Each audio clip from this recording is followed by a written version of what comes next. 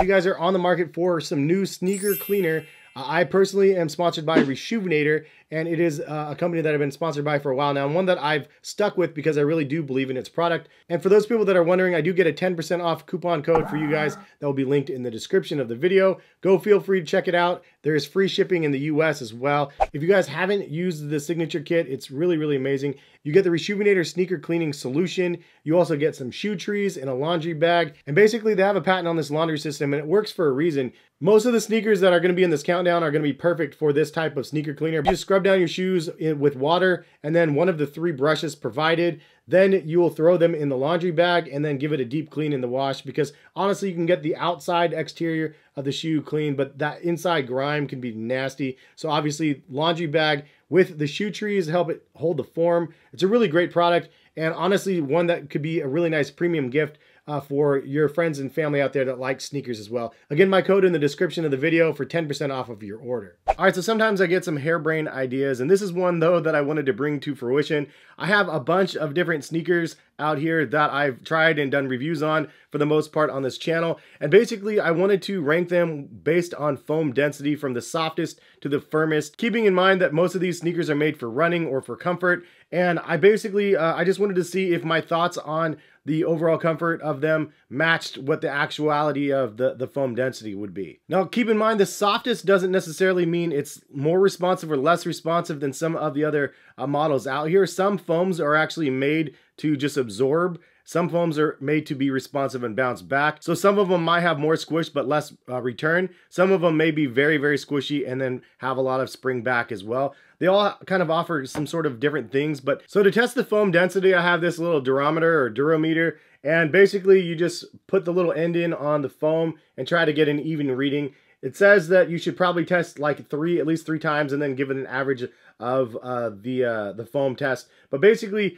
like a Nike Dunk is around 76, and I'm assuming the Nike Air Jordan 1 is, yeah, about 74, 76 as well. So uh, those ones are about 76, just to give you an idea uh, from what a firm pair of sneakers would be. This was quite the feat to get all these out here and try to test them with uh, the durometer. One thing that I will mention though is it was really hard to find nice flat surfaces in all of the sneakers. Some of them don't have a perfectly flat surface, so some of the metrics may be skewed a little bit, uh, so keep that in mind. I tried to get the best readings that I could uh, though for your guys' sake and for mine. So first we'll start off with the Adidas Boost technology because this is the one that kind of started the landscape change of all of the different comfort sneakers that um, I guess companies were after. They really wanted to have something that had kind of a responsive, soft, squishy, light midsole sort of thing. And a lot of the major companies that you can see out here have achieved that in some way, shape, or form. Some of them are lighter, some of them are more responsive, and some of them are softer. Uh, but the Adidas Boost technology is the one that started it all. This one had the, the density of between about a 25 and a 28. And I did check the outsole as well. It's about a 65. And compare that to the Air Jordan 1. This is obviously much, much softer than an Air Jordan 1. So uh, yeah, it's, it's definitely worth noting that this is what like the epitome of a comfort sneaker would be because of the, the Boost technology now. Now, oddly enough, this was one of the softer ones on the list. There's some of them that are firmer but actually feel a lot softer on foot, which is an interesting take. And I think it's probably just the way that the foams are comprised. Also, the Adidas NMDs, I wanted to try them because they do feel a little bit softer actually when you squish them, but this one's about a 22 to a 28. And then the OG Pure Boost felt like about a 26. Uh, and these ones are about 8 ounces. Also something to note for the weight, the Jordan 1 is about 15.5 ounces, the Ultra Boost 21 is about 13.4 ounces. So these are the two baselines and we're going to go ahead and get into all of the rest. So it's going to go like this, softest, and then to the firmest back here. So this one's obviously one of the firmest. It's going to go in the back. The Ultra Boost is actually pretty soft one. We're going to go right here. So next up, we have the Adidas Light Strike technology. We have the regular Light Strike as well as the Light Strike Pro. The regular Light Strike was about a 35 to 40 density, and this one weighs about 8.4 ounces. So very light, but a little bit more firm on feet than the Boost material is. The Light Strike Pro was a little bit softer, about 29 to 32, and this one weighs about 7.9 ounces, which is very light. The next one we have, it's not really even a cushion technology that is one that we should have out here, but I wanted to include it anyway. The, the materials on here is actually really hard, but if you squeeze them together because of the lattice design, it actually has some give to it. And when you step in it, you definitely can feel some give because of the, the overall design of the structure. But the material itself is very, very hard. 74, 76, somewhere in between there. Makes it harder than the Air Jordan 1s actually. And these weigh about 12 ounces. So we're gonna put these right here. And to the opposite extreme, we have the Adidas Cloud Foam technology. This is on the Adilette slides, which are really, really affordable. They come in around 20 to $80, but $20 primarily for like this pair right here. And this is the softest thing out here by far, but of course it's not a sneaker. It's just the uh, cloud foam. It's like basically an insole softness. And this is about a 12 to 15, 6.5 ounces. So very, very soft on the softest side of the spectrum. Next, we have Adidas Adiprene, which is actually a little bit firmer than some of the other ones that we just talked about. 46 roughly for this one. And this is the Ozelia model. This is a $100 shoe. Really great baseline model, in my opinion. Kind of that Yeezy vibe. This one weighs in at 11.2 ounces. So a little firmer we'll go down on this end. Now, I know I don't have Adidas Bounce in the mix here. I don't have any Bounce products easily accessible. I can't find the boxes of where my products are. I do still have some. I just can't find it for this video, unfortunately. I apologize for that. Uh, but we do have some Nikes coming up next. We have uh, the Alpha Fly, which this is a beast of a shoe featuring full-length Zoom X, as well as the Nike React in the Infinity React uh, 2s. We also have Cushlon material in this crazy hodgepodge shoe that I made right here, and then also the Invincible Run. So starting this off, the Zoom Alpha Fly, this is actually between like roughly a 30 and 37. It's kind of a higher variance, but honestly, because of all the angles, it was really hard to get a good measurement. And they weigh 8.4 ounces. This is one that I thought would have been definitely softer uh, to the touch, but now that I touch it and squeeze on the shoe, it actually isn't that incredibly soft. But when you step in the shoe, that's when the magic happens. It compresses farther than anything out here probably. Just very, very soft, squishy, automatic compression, and then bounce back. It does have a lot of responsiveness as well. It just goes to show that the softest density doesn't mean uh, that it doesn't have any squish or uh, give and stuff. And ZoomX is a prime example of that. One of the most squishy technologies and lightweight technologies that Nike's created and really, really amazingly good stuff. Uh, so that one is around right here.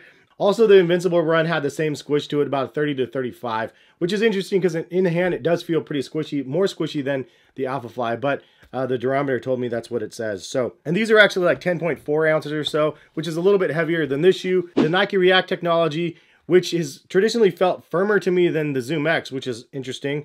Uh, this one actually runs at about 32 to 34, and this one has a pretty firm outsole. Just so you know, the outsole is about a 74. I'm going to put this one next to the Zoom X, but it's interesting that it's almost as squishy as the Zoom X, if not a little bit more. And then the last one is the Cushlon, and this was the hard one to get a reading too. Like in hand, you can squish it, it feels squishy, but from the durometer, it says it's roughly a 33 to 40, so definitely a higher range, and 14.4 ounces for this crazy monstrosity that I created right here. It is kind of nuts because if you squish these two, like the React and the Cushlon side by side, they do feel very similar. But I do believe that the React is a little bit lighter. Because of the range, I'm putting that one on the end. Next up, we have some New Balance because this is the fun part. I really wanted to see it where these lined up on the spectrum. My feet have told me these things are both amazing. We have Fresh Foam and we have the fuel cell technology. And the Fresh Foam X from the 1080 V11 is roughly around a 31 and it's 9.7 ounces. So this one, in my opinion, is gonna fall in line right about here. Then we have the Fresh Foam Rove model as well. And I haven't showed you guys this one, but I did get a pair of these just to try them out. This features the regular Fresh Foam, not the Fresh Foam X. This one's about a 32 to 35 and roughly 8.6 ounces. So I'm gonna put this one kind of in between here as well. And then we have the Fuel Cell Rebel V2, which features that crazy soft squishy uh, fuel cell. And this one lands between a 20 and 22, which is the softest out of all of these so far. 7.1 ounces for this model as well. I'm telling you guys, best in class for $130 price point. Definitely some crazy soft squishy feel here, but it's also really responsive. So you get a lot of spring back when you're walking or running in these shoes, and they're also lightweight. It's really rare to get like all of the elements in one. Uh, it's a really, really good shoe. So th this one comes right down here. And then just to test the consistency of the fuel cell, I wanted to give it a try against the RC Elite V2. And the fuel cell ran a little bit firmer actually in this one, about a 23. But to be fair, again, look at the sculpture of the midsole. It's really hard to get a perfect reading on this one because of all the little bumps. This one actually is 7.9 ounces versus the 7.1 of the uh, the Rebel. But this one goes right in next to this one.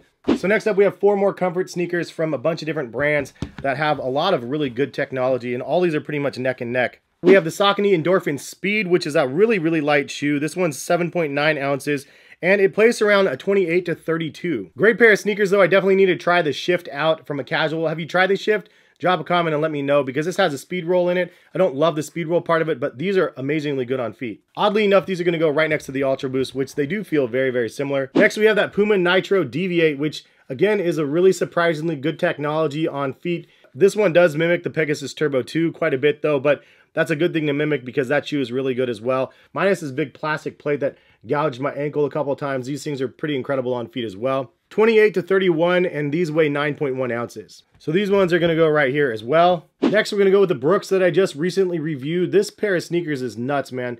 Uh, the DNA Loft V3 on these are really, really soft. And look at this stack on this thing. It's just massive. These weigh 9.1 ounces, so they are a little bit heavier, obviously, because they have a lot more cushioning here. And they ran in between the 30 and 32 range as well. So they're all kind of falling in that 28 to 33 range uh, like right around here. Next up, we have the Hoka Clifton 8, which this one was about a 31 to 33 as well, and 9.3 ounces. Another hard one to measure because of all the angles of the midsole, but roughly around that 31 to 33. Next up, we have the Tree Dashers from Allbirds. This is actually a really comfortable pair of sneakers as well, one that I've mentioned in the past. This one weighs about 10.6 ounces, and the firmness comes in around a 32 to 35. The Crocs Classic Clog. This one features the Croslite technology, which is their patented technology with that iconic Crocs comfort. This one runs at about 34 to 38 and weighs 8.2 ounces. And we have the last three that I wanted to mention here. The Mizuno Energy, which is a really weird, crazy looking shoe. The craziest on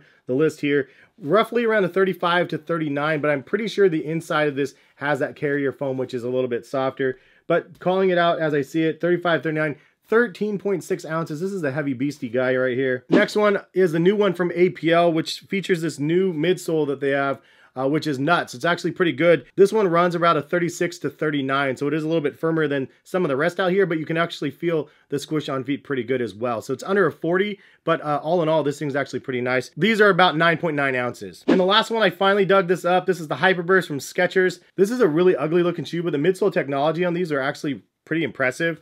Uh, this one runs about a 27 to 33 uh, and weighs 9 ounces. So actually pretty soft and squishy, 27 to 33. 27 on the lower end means this one falls kind of in line right about here. So that's kind of the look at it from the softest here all the way down and then coming back around here to the firmest. So softest and firmest goes to Adidas. The softest sneakers though actually goes to the New Balance Fuel Cell, which is consistent with what I've been saying about these shoes. They're just insanely soft and squishy. One of the surprising details to me is that Adidas Boost was actually on the lower end of all of the materials. I thought this one would have been uh, higher than the Nike React for sure. But it just goes to show you if it's a softer density, doesn't mean that it's actually softer feeling on feet. And it also doesn't mean that it's more responsive or provides more cushioning because some of these other models out here feel like they have a lot more uh, give when you step into them. And then some of them feel like they're really, really responsive. The other one that surprised me a lot is the Nike Zoom X. I thought it was softer in hand than it was, but if I'm thinking about it, it really isn't that soft in hand. It's just soft on feet. So it goes to show you, you just can't judge a book by its cover. Just because it's firmer on the outside does not mean it's not soft and squishy uh, on the inside. Uh, we're talking about sneak we're talking about sneakers here still. But as you can see here most of the competition lies around that 28 to 35 range. And all of that from here to here is like really good. Like all of these feel really crazy soft on feet. So really it just goes to show you again a lot of times it just depends on what the company's trying to do to create the product. Like this doesn't feel like a really responsive pair of sneakers but the clifton material that they use for this midsole definitely feels like some squish when you're stepping. Same thing as the Fresh Foam X. When you're stepping, it doesn't give you the most amount of bounce back, but it does provide like a really nice cushion for you for impact protection and stuff like that. And I'm talking from a running perspective, but from a casual perspective, when you're walking around, it gives you like that impact protection as well. Anyways, what do you guys think? What are some other sneaker cushioning technologies that you've tried that you think are really, really soft on feet or feel really comfy or uh, responsive or lightweight. Drop some comments and let other people know, let myself know. And because I know I reviewed a lot of shoes out here, but obviously I didn't get all of them. Um, I don't have all the shoes out there. Like the Peak Tai Chi is one. I think Peak has another new one that I need to give a try. Reebok Float Ride, I think, is another one. There's a couple other ones that I just didn't try. Uh, so I apologize I didn't get all of them. But hopefully you guys found the video informative. And if you guys did, please drop a like on the video. Share it with somebody interested in comfort sneakers as well. And uh, much appreciated if you guys do that. Again, if you guys want to buy any of the technologies that I showed you guys in this video, check the link in the description. But have a good day, and hopefully we'll see you guys back here for some more videos. All right, peace, guys.